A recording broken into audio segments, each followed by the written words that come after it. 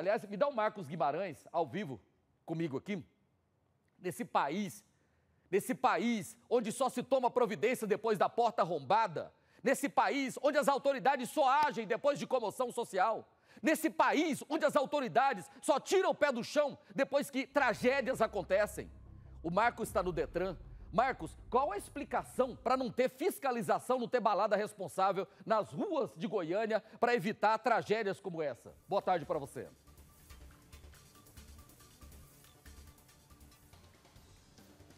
Pois é, Loares, boa tarde para você, boa tarde para todos que nos acompanham aqui pelo Balanço Geral.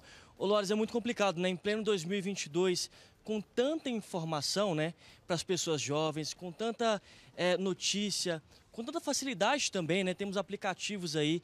É muito fácil hoje em dia ir para um bar e ir e voltar de aplicativo. É difícil a gente ver cenas como a gente acabou de assistir agora no Balanço Geral, né?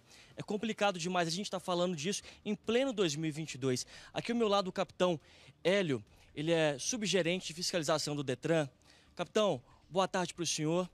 Conta pra gente, é, depois de todo esse final de semana, né, dessas cenas que a gente acabou de ver, pretendem intensificar a balada responsável?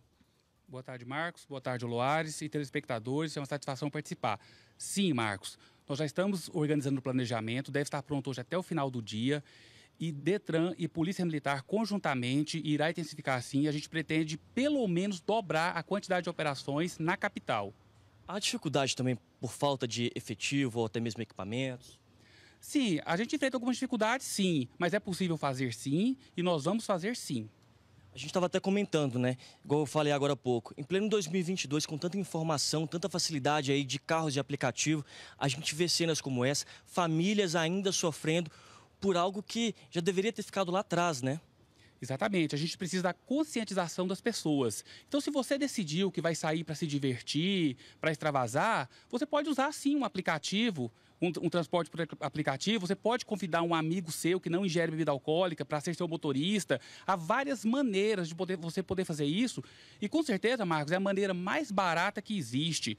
Porque você está correndo o risco de, do dia para a noite, se tornar um assassino. E se você se tornar um assassino, como que você vai lidar com isso o resto da sua vida? Mesmo ter a família sofrendo igual a gente acabou de acompanhar, né? Perfeitamente. Então são tragédias que são perfeitamente possíveis de ser evitadas. Nós vamos, através da fiscalização, tentar coibir isso, mas antes da fiscalização, a gente conclama a todas as pessoas a consciência em relação a todas essas questões. Se a consciência não bater, tem que doer no bolso também, né? Exatamente. Se a população não se conscientizar, a gente espera que, pelo menos pelo temor da fiscalização, esses, essas situações não venham a acontecer novamente. Porque a multa é de quase 3 mil reais. O Loares, tem uma pergunta? Na verdade, eu queria, desculpa a, a intervenção, Marcos, eu quero, quero, saber por que, que a polícia não estava fazendo blitz nesse dia? Por que, que não tinha balada responsável nesse dia? Eu acho que como evitar, isso aí deveria ter feito antes e a gente sabe. O que eu quero saber, e desculpa a minha indignação, é onde estava a balada responsável e cadê, que depois da pandemia a gente não viu mais. Cadê a balada responsável? Acho que essa é a pergunta que a sociedade goiana quer saber. Falar o que deveria ser feito, isso aí é muito fácil. O que eu quero e a sociedade quer saber é por que, que a balada responsável não voltou depois da pandemia?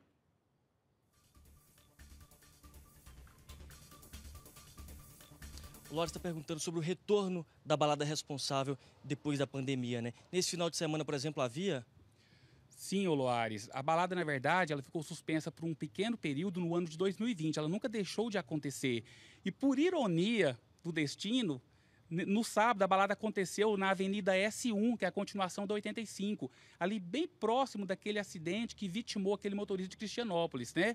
Infelizmente, naquele caso específico, a gente não foi capaz de coibir aquela situação lá, mas a operação estava acontecendo ali e foram 25 motoristas flagrados em situação de embriaguez só naquela operação. A gente sabe também que esses motoristas costumam é, agir né, durante a madrugada, por volta de 4, 5 horas da manhã, depois da balada. Eles pretendem também ampliar esse horário de, de atuação e também colocar equipes em diversos locais? Perfeitamente. A gente vai intensificar sim, nós vamos fazer em vários locais e em vários horários diferentes, justamente para criar esse fator surpresa. Portanto, aquele condutor que estiver pensando ingerir álcool e dirigir, a partir de agora ele deve pensar várias vezes antes de tomar essa decisão. Capitão, o que a gente pode falar também para os pais? Como que os pais eles podem aconselhar os filhos, né? Porque jovem costuma ser inconsequente, achar que ah, não vai acontecer comigo, acontece só com os outros. É o que a gente vê apenas na televisão. Mas isso pode acontecer com todo mundo, né? Como que os pais podem conversar com os filhos para poder evitar esse tipo de coisa? Pois é, exatamente. O jovem ele é muito inconsequente, né? O pai é uma pessoa mais vivida. Então o pai, a gente entende a necessidade de às vezes dar um filho, um carro para o filho, mas o pai tem que analisar realmente se ele pode fazer isso. Se ele perceber que o filho dele tem consciência, se ele é, der exemplo para o filho dele de tragédias já aconteceram, ele presenteia o filho dele e orienta. Se ele perceber que o filho dele não está seguindo, recolhe a chave do carro, porque o pai tem esse poder. Não permita que isso aconteça. E principalmente quando o filho é menor. A gente viu que na situação lá do acidente, era uma menina de apenas 15 anos. Quer dizer, o pai e a mãe ainda tinham grande poder sobre ela, mas infelizmente não foi possível evitar. É mais fácil recolher uma chave ali, ter o filho com um final de semana com a cara feia, do que perder um filho, né? Não, exatamente. O filho pode usar o transporte por aplicativo ou outro meio. Então, existem meios possíveis. Só que acaba que as pessoas acabam escolhendo a pior opção. Esse final de semana já vai ter equipe ampliada? Já sim. A partir de quinta-feira, inclusive. Nós estamos terminando o planejamento hoje de tudo isso, já vamos colocar em prática a partir de quinta-feira, agora dessa semana. Detalhe: beber e dirigir, todo mundo já sabe que é crime, né? E o racha? O racha também é um crime previsto no Código de Trânsito Brasileiro. Ele prevê multa de 10 vezes o valor da gravíssima, que hoje está em R$ 2.984, e suspensão do direito de dirigir por um ano, sem prejuízo da responsabilização criminal. Então, os horários é, dessas blitz, né, da balada responsável, não vai ser apenas no início da noite, mas também ao longo da madrugada? Sim, nós vamos estar nas, nas ruas a noite inteira, até amanhecer o dia. Já fica o recado, então, para quem tem esse hábito, né, de beber e dirigir. Tem gente que costuma dizer que dirige melhor alcoolizado, mas vai ser parado e vai ser punido? Com certeza será punido, sim. E a gente conclama a toda a sociedade que se abstenha dessa prática, porque, infelizmente, a punição irá acontecer sim. Denúncia também é importante, né? Sim, as pessoas podem estar ligando 190 sim, se perceber uma situação adversa, uma situação de suspeição sim, passar os dados do veículo, o endereço, com certeza uma viatura que estiver por perto ali vai tentar flagrar esse motorista. Tá certo, capitão. Muito obrigado pela entrevista. Portanto, Loares, as informações aqui é, do pessoal responsável pela balada responsável, né? E é isso. Se não doer na consciência, né, vai doer no bolso, porque a multa é de quase 3 mil reais. A pessoa também pode perder o direito de dirigir. Portanto, é bom todo mundo ter consciência para que a gente não tenha que trazer aqui novamente cenas como essa, Loares.